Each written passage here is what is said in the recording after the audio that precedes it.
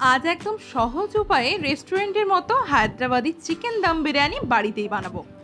এর আগে আমি chicken biryani, mutton biryani, mushroom বিরিয়ানির রেসিপি আপনাদের সাথে শেয়ার করেছি। বাট আজকের এই বিরিয়ানি সব থেকে স্পেশাল নমস্কার দর্শক বন্ধুরা welcome to our channel salt and pepper with Supriti. আশা করছি সকলেই খুব ভালোই আছেন। বড় থেকে ছোট কম বেশি আমরা সকলেই বিরিয়ানি খেতে ভীষণ ভালোবাসি। তা যদি হয় হায়দ্রাবাদি বিরিয়ানি, তাহলে তো আর কোনো কথাই নেই। আজ আমি যেভাবে বিরিয়ানিটা বানাচ্ছি, সেভাবে যদি আপনি স্টেপ বাই স্টেপ ফলো করে বিরিয়ানিটা বানিয়ে থাকেন, তাহলে কিন্তু বিরিয়ানি হবে অসাধারণ। তাহলে আসুন, ঝটপট দেখে নিই আজকের আমার রেসিপি বিরিয়ানি বানানোর আগে সব থেকে প্রথমে যেটা করব, চিকেনটাকে ম্যারিনেট করব। ম্যারিনেটের জন্য প্রথমেই নিয়ে নিয়েছি এক কেজি দুশো গ্রাম চিকেন দেখুন চিকেন পিসগুলোকে বেশ বড় বড় করে কাটিয়ে নিয়েছি। দেখতেই পাচ্ছেন নিশ্চয়ই বেশিরভাগ পিসগুলোই লেগ পিস আর ব্রেস্ট পিস আছে, কারণ এর মধ্যে বেশ ভালো মাংস থাকে।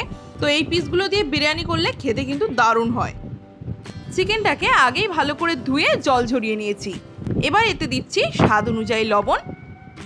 লবণটা সামান্য বেশি রাখছি, কারণ চিকেনের পিসগুলো বেশ বড় বড় সাইজের আছে। ওজন বললে একশো থেকে একশো কুড়ি গ্রাম করে পার পিস আছে। দিচ্ছি ওয়ান টিস্পুন গুঁড়ো হলুদ। Two teaspoon Kashmiri red chilli powder দিয়ে দিচ্ছি টু টেবিল স্পুন ধনে পাতা আর পুদিনা পাতা কুচি। আগে আমি পাঁচশো গ্রাম পেঁয়াজকে মিহি করে কুচিয়ে নিয়ে বেরেস্তা বানিয়ে নিয়েছিলাম। সেই বেরেস্তা তিন ভাগের এক ভাগ রেখে পুরোটাই এর মধ্যে দিয়ে দিচ্ছি।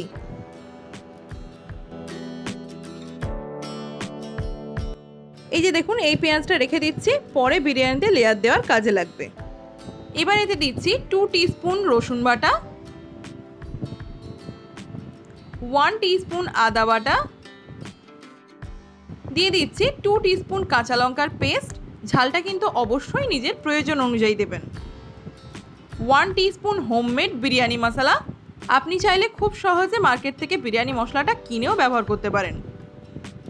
দিচ্ছি এক কাপ টক দই।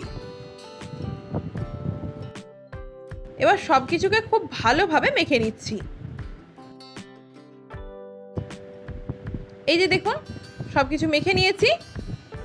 হায়দ্রাবাদি বিরিয়ানির চিকেন ম্যারিনেট করতে গেলে যে জিনিসটা একদমই ভুললে চলবে না, সেটা হলো বেরেস্তা ভাজার তেল। এই তেলটা এখন এর মধ্যে দিয়ে দিচ্ছি, পুরোটাই দিচ্ছি না, অল্প একটু রেখে দিচ্ছি আর অর্ধেকটা দিয়ে দিচ্ছি। তো এই তেলটাকে আবার ভালোভাবে সব কিছুর সাথে মিশিয়ে নিচ্ছি। এই তেলের থেকে অসাধারণ একটা ফ্লেভার চিকেনের মধ্যে আসে, তাই জন্য এটা কিন্তু ভুলে গেলে একদমই চলবে না। চিকেনটাকে খুব ভালোভাবে ম্যারিনেট করে নিয়েছি। মিনিমাম দু থেকে তিন ঘণ্টা রেস্ট হতে রাখছি। খুব ভালো হয় আপনি যদি এটাকে ওভারনাইট ফ্রিজে রাখতে পারেন। এবার বিরিয়ানির ভাতটা বানাবো। তাই জন্য এখানে নিয়েছি এক কেজি বাসমতি চাল। এবার চালের মধ্যে জল দিয়ে দিচ্ছি। চালটাকে ভালো করে তিন থেকে চারবার জল বদলে বদলে ধুয়ে নিচ্ছি। এই যে দেখুন, চালটাকে ভালোভাবে ধুয়ে নিয়েছি। ধুয়ে নেওয়ার পর দেখতে পাচ্ছেন নিশ্চয়ই, চালের ওপরের যে জলটা, সেটা কিন্তু একদম স্বচ্ছ হয়ে গেছে। এটাকে এখন আধ ঘণ্টা এভাবে ভিজিয়ে রাখছি। আধ ঘণ্টা পরে ফিরে এলাম। দেখতেই পাচ্ছেন, চালটা অনেকটাই পরিমাণে বেড়ে গেছে। এইভাবে চাল যদি ভিজিয়ে রেখে ভাত রান্না করা হয়, খুব তাড়াতাড়ি, খুব সহজে ভাতটা রান্না হয়। উপরন্তু ভাত কিন্তু বেশ ঝরঝরে হয়। বিরিয়ানির ভাতটা রান্না করব, তাই জন্য একটা কড়াইতে বেশ কিছুটা জল নিয়ে আগেই জলটা ভালোভাবে গরম করে নিয়েছি। এতে দিচ্ছি স্বাদ অনুযায়ী লবণ, দুটো তেজপাতা। এবার কিছু গোটা গরম মশলা অ্যাড করব, প্রথমেই নিয়েছি এক ইঞ্চ দারচিনি, দশটা লবঙ্গ, একটা বড় এলাচ যেটাকে থেতো করে নিয়েছি, একটা জৈত্রী হাফ টিস্পুন সাজিরে, দশটা শামরিচ সবশেষে রয়েছে তিনটে ছোট এলাচ। এবার এগুলোকে জলের মধ্যে দিয়ে দিচ্ছি। গ্যাসের ফ্লেম মিডিয়াম টু হাই রাখছি। সব কিছুকে একসাথে মিশিয়ে নিয়ে এটাকে পাঁচ থেকে ছ মিনিট ধরে ফুটিয়ে নিচ্ছি। ছ মিনিট সম্পূর্ণ হয়েছে একটা স্টিলের ছাকনির সাহায্যে। এই যে গোটা গরম মশলা আছে, এখান থেকে কিছুটা পরিমাণ তুলে নিচ্ছি।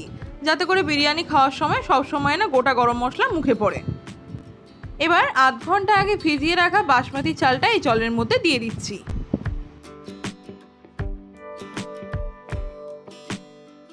সব কিছুকে একবার হালকা হাতে মিশিয়ে নিচ্ছি। এই যে হয়ে গেছে। গ্যাসের ফ্লেম এখন মিডিয়াম টু হাই রাখছি। এটাকে সাত থেকে আট মিনিট ধরে ফুটিয়ে নিচ্ছি। তবে অবশ্যই মাঝে মধ্যে এসে এভাবে চেক করে নিতে হবে নাহলে কিন্তু ভাতটা পুরোপুরি গলে যেতে পারে। বিরিয়ানি হোক কিংবা ফ্রায়েড রাইস ভাত যদি গলে যায়, তাহলে কিন্তু এটা একদমই খেতে ভালো লাগবে না। ভাতটা এখন সেভেন্টি পার্সেন্ট সেদ্ধ হয়ে গেছে। এর মধ্যে হাফ টেবিল স্পুন রিফাইন তেল দিয়ে দিলাম। সব কিছুকে একবার হালকা হাতে মিশিয়ে নিচ্ছি। রিফাইন তেল দেওয়ার ফলে ভাতটা কিন্তু বেশ ঝরঝরে হবে। গ্যাসের ফ্লেমটা অফ করে দিয়ে ভাতের থেকে মাটা আলাদা করে নিচ্ছি।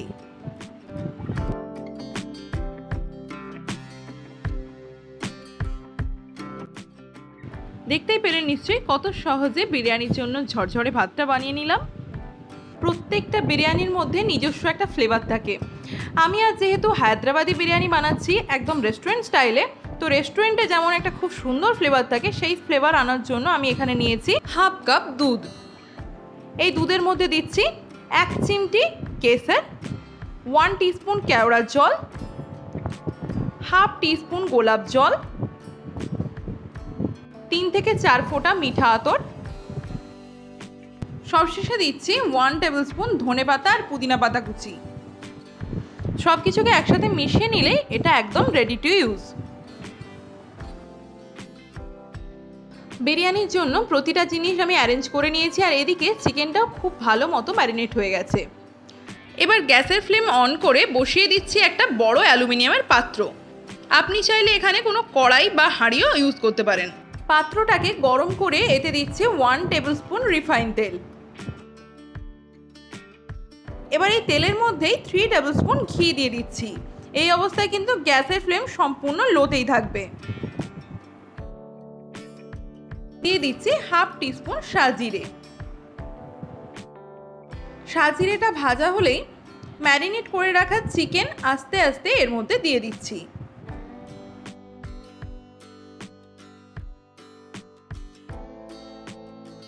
ওপর থেকে চারটে চেরা কাঁচা লঙ্কা এতে দিয়ে দিলাম।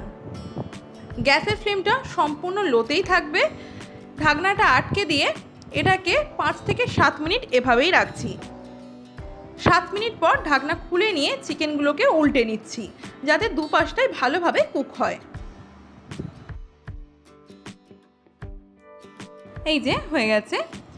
এর মধ্যে দিচ্ছি এক কাপ নর্মাল জল। চিকেনগুলোর পিসগুলো যেহেতু বেশ বড় বড়, তাই জন্য সেদ্ধ হতে একটু সময় লাগবে। গ্যাসের ফ্লেমটা সম্পূর্ণ লোতেই রেখেছি। আবার ঢাকনাটা আটকে দিয়ে এটাকে তিন থেকে চার মিনিট কুক করে নিচ্ছি। চিকেনের পিসগুলো এখন অলমোস্ট সেদ্ধ হয়ে গেছে। তাও একবার খুন্তির সাহায্যে উল্টে পাল্টে চেক করে নিচ্ছি। চিকেনটা কিন্তু এখন এইটটি পার্সেন্ট সেদ্ধ হয়ে গেছে। তাই এবার বিরিয়ানির লেয়ারটা দেব। সেদ্ধ করে রাখা ভাত চিকেনের ওপর দিয়ে দিচ্ছি। পুরো ভাতটা কিন্তু একেবারে দিচ্ছি না, দুটো লেয়ার তাই জন্য অর্ধেক ভাতটা এখন দিচ্ছি আর পরের লেয়ারে বাকি ভাতটা অ্যাড করে দেব। এবার এই ভাতের ওপর দিয়ে দিচ্ছি হাফ টেবিল স্পুন ধনে পাতা আর পুদিনা পাতা কুচি। দিচ্ছি হাফ টিস্পুন বিরিয়ানি মশলা। বানিয়ে রাখা দুধের মিশ্রণের অর্ধেকটা এর ওপর দিয়ে দিলাম। দিচ্ছি বেরেস্তা।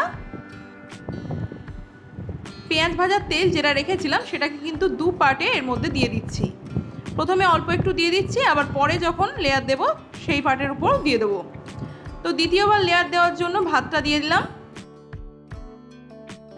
দিয়ে দিচ্ছি হাফ টিস্পুন বিরিয়ানি মশলা, ধনে পাতা, পুদিনা পাতা কুচি।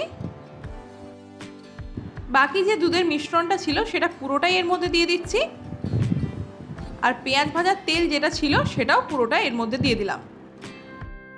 এবার থ্রি টেবিল স্পুনের মতো ঘি এতে দিয়ে দিচ্ছি। আগে আমি আটার একটা ডো বানিয়ে রেখেছিলাম, যাতে কিচ্ছু দিইনি জাস্ট আটাটা জল দিয়ে মেখে নিয়েছিলাম। সেই ডোটা ভালো করে এই পাত্রের চারিদিকে লাগিয়ে নিচ্ছি। দেখুন, এইভাবে লাগিয়ে নিলেই হবে। এর জায়গায় আপনি অ্যালুমিনিয়ামের ফয়েল দিয়েও এর মুখটা আটকে নিতে পারেন। বেরেস্তাটা দিতে ভুলে গিয়েছিলাম, তাই জন্য এখন শেষকালে বেরেস্তাটা অ্যাড করে দিলাম। এবার ভালো করে ঢাকনাটা আটকে দিচ্ছি আর হাতের সাহায্যে চেপে নিচ্ছি, কোথাও যেন কোনো রকম ফাঁকা না রয়ে যায়। গ্যাসের ফ্লেমটা একদম লোতে রাখছি আর এটাকে পনেরো মিনিটের জন্য দম দিয়ে নিচ্ছি। পনেরো মিনিট সম্পূর্ণ হয়েছে, আটাটাও এখন শুকিয়ে গেছে। একটা ছুরির সাহায্যে সাবধানে সাইডগুলো কেটে নিচ্ছি। তারপর ঢাকনাটা খুলে নিচ্ছি। এখন কিন্তু একদম রেস্টুরেন্টের Hyderabadi biryani ready to serve গ্যাসের ফ্লেমটা অফ করে দিলাম। জাস্ট একবার দেখুন কতটা সুন্দর কালার এসেছে। এক সাইড থেকে কাটতে হবে, না হলে কিন্তু ভাত ভেঙে যেতে পারে। দেখতেই পাচ্ছেন কত সুন্দর ঝরঝরে হয়েছে। দাঁড়ান প্লেটে সার্ভ করে দেখাচ্ছি। এই যে, হয়েছে না একদম রেস্টুরেন্টের মতো? আমি যেভাবে বানিয়েছি স্টেপ বাই স্টেপ ফলো করে বানিয়ে দেখুন আর কমেন্ট করে জানাতে ভুলবেন না, কেমন হয়েছে। আজকের এই রেসিপি আপনার ভালো লাগলে লাইক শেয়ার কমেন্ট চ্যানেলে নতুন বন্ধু হয়ে থাকলে চ্যানেলটি সাবস্ক্রাইব করার অনুরোধ রইল। ভালো থাকবেন, সুস্থ থাকবেন, ধন্যবাদ।